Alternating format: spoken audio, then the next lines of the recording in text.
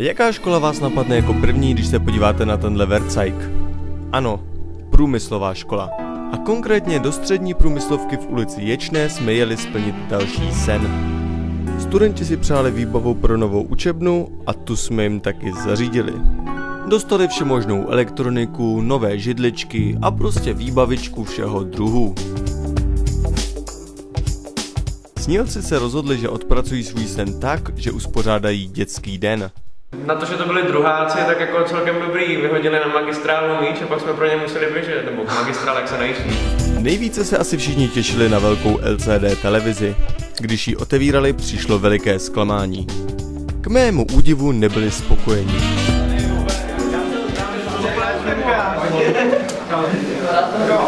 Chtěli jste kvalitu, máte mít kvalitu. Ne, nebojte, to budeme reklamovat tady tohle.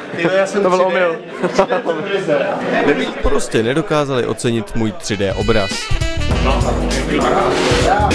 Ty už máš teda za sebou tuhle tu školu. po maturitním studiu.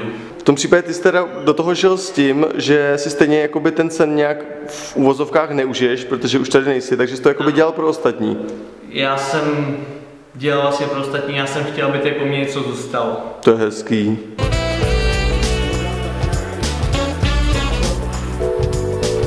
Ty, tak teď máš swag. Pecka. Teda kluci, to je načmáno, to jste psali vy, ne? To jsem psal já. to tam ale nedávej. Co vám to připomíná? Nechceme zdržovat, my jsme slyšeli, že už chcete jít domů. Já bych vám chtěl poděkovat za celý projekt, že jste živým důkazem, že opravdu se ten sen dá splnit. Potom, co Adam odvyprávěl svůj Dreamcatcherovský projev, se všichni už nemohli dočkat na pořádný dortík. Nikdo ale nevěděl, jak ho budeme servírovat a dělit. Počkej, a co, co kdyby se to udělalo jako, jako s tou svatební kyticí, že by se se postavil takhle. Kdo to chytí, tak by si to vzal.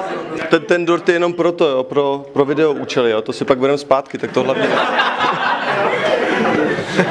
Máte jeden dort, dva talíře a zhruba 20 lidí. Jak to vyřešíte? Těžko. Složitě, no. S Dreamcatcherem matika vyloženě ožívá. Nastal další problém. Nebylo dostatek talířů. V tomto případě nás zachránil Dreamcatcher se svými letáky.